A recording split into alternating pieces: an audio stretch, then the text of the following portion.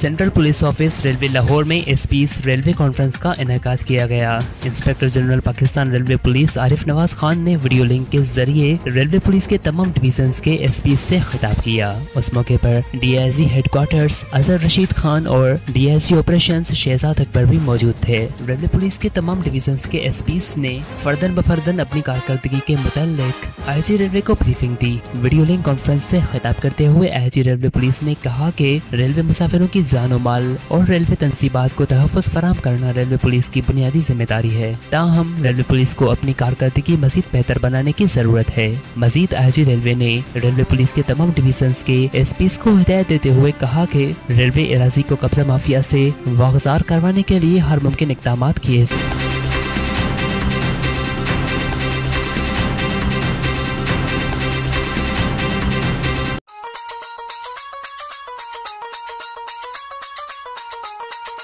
For more videos, audios and print material, visit our YouTube channel and click the bell icon.